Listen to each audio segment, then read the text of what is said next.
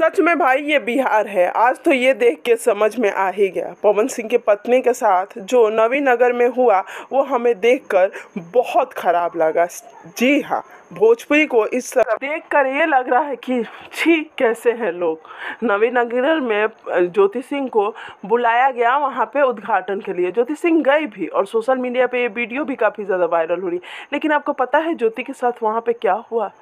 ऐसा कुछ हुआ जो ज्योति सिंह के साथ नहीं होना चाहिए।